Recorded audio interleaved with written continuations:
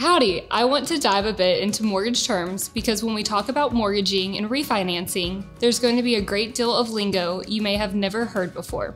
As we go through explanations for some of the most common terms that get brought up with customers, this video will hopefully provide you with a greater understanding of this topic, allowing you to more easily navigate the process. The first term we're going to break down is an ARM.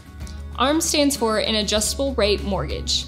What this means is that the rate will readjust at a specific time and depending on how it's structured, could readjust multiple times after that time frame has expired. For example, if you're on a seven year ARM at year seven, the rate will readjust to the market rate and then might adjust after that. The rate at which it could adjust will be specific to what the bank does. With ARMs, you want to talk with your loan officer about how many times a rate might adjust and whether there is a cap on how high the rate could go. Although they have a bad rep since the recession in 2008, ARMs can be a really strategic option for people looking at potentially short term financing or for those looking to buy a piece of land intending to build on it in a few years. Second, let's talk about underwriting. Underwriting is an all encompassing term for a loan being looked at by credit analysts and then having title work and appraisal reviewed by the respective teams. Underwriters are the team that signs off on all aspects of a loan, including the title commitment, title documents, and an appraisal.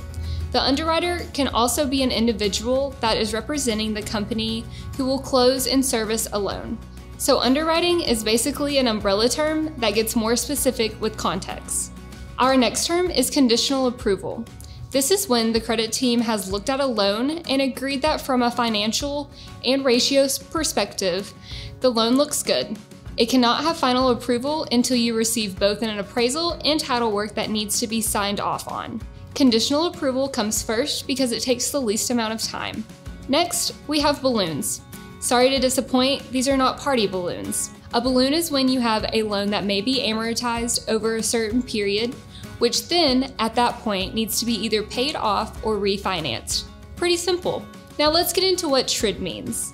The TRID rule came about after the recession and describes how your loan officer has to disclose loans. Specifically, it requires that a loan estimate and closing disclosure be provided for most consumer mortgage loans.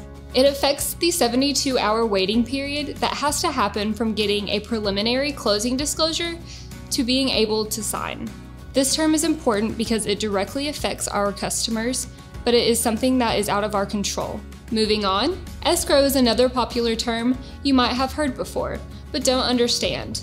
Escrow is an account that is very common for people with a mortgage to have. You will fund it at closing, contribute to it every month during your monthly payment, and it will pay for your property taxes and insurance on your behalf. It is important to note that while the closing costs themselves will not be higher if you opt out to escrow a loan, there will be extra cash required at closing because you're funding the account. Mortgage insurance is an insurance that is paid to lenders for loans that are deemed higher risk because of their loan to value.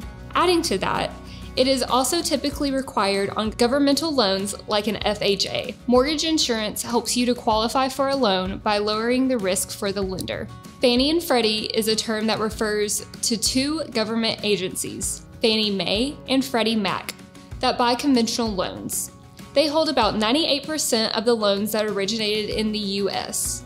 Debt to income, or DTI, looks at the percentage that your monthly obligations are of your gross income. We will compare these expenses with your gross income, and depending on the underwriter we work with, the requirements can range from 39% to 50%. DTI exists to ensure that you do not use all of your money to pay for your house.